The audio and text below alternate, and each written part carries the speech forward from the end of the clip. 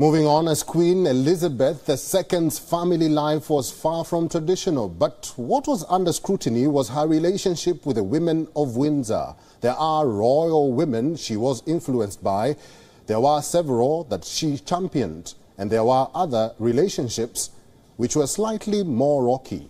Her relationship with Princess Diana is the one that is most talked about. It is also the one that has been the most complicated.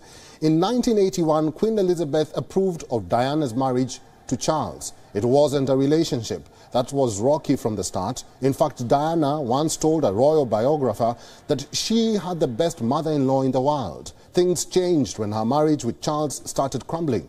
As things got rocky with Charles, things took a turn for the worse. It worsened with the news of Charles's affair with Camilla. Reports suggest Diana had asked for the Queen's help. She wanted her to intervene as the marriage was struggling.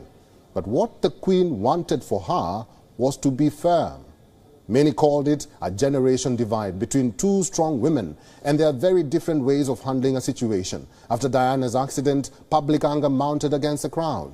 It worsened as Queen Elizabeth II declined to lower the flag atop Buckingham Palace to half-mast. She cited protocol for the move, but that turned the public father against the monarchy. But Diana's legacy is the change she brought to the royal family, especially to the Queen's public image. Her death was a whirlwind moment. It required the monarchy to reorient its public image to embrace a more modern image to appeal to audiences.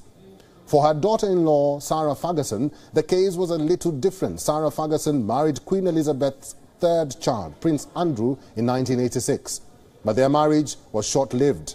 This complicated her relationship with the royal family, including the Queen. What made things more complicated was another viral scandalous photo. It was when she was caught in a compromising position with financial advisor John Bryan. This made things far worse with the Queen. The incident later led to the divorce of Andrew and Sarah, one that many reports say that the Queen basically forced.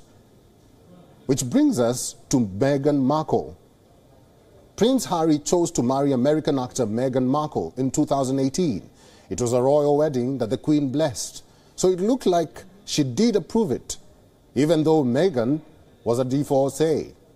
But things took a turn for the worse in 2020. Markle and Prince Harry stepped away from their royal duties. It was after Meghan experienced a so-called year of isolation and racism. She felt like the royal family failed to defend her from those vile attacks. Meghan and Harry's relationship with the rest of the royal family has been strained, especially after their tell-all interview with Oprah Winfrey. There are concerns that an unnamed royal said that her and Harry's child might have a dark complexion. The Queen has always been against publicizing family matters in public, so clearly the interview did not go down too well with her, and that's according to sources. Queen Elizabeth II met the couple's daughter Lilibet only once. Again, only once.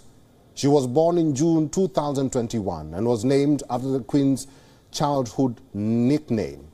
Lilibet.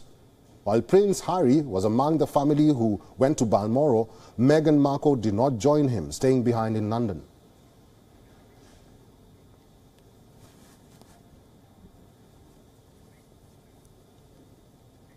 WION is now available in your country. Download the app now and get all the news on the move.